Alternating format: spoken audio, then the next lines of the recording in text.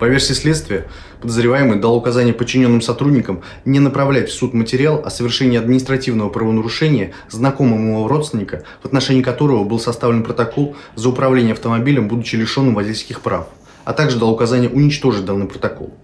В настоящее время подозреваемый задержан, с ним проводятся следственные действия, решается вопрос об избрании ему меры пресечения.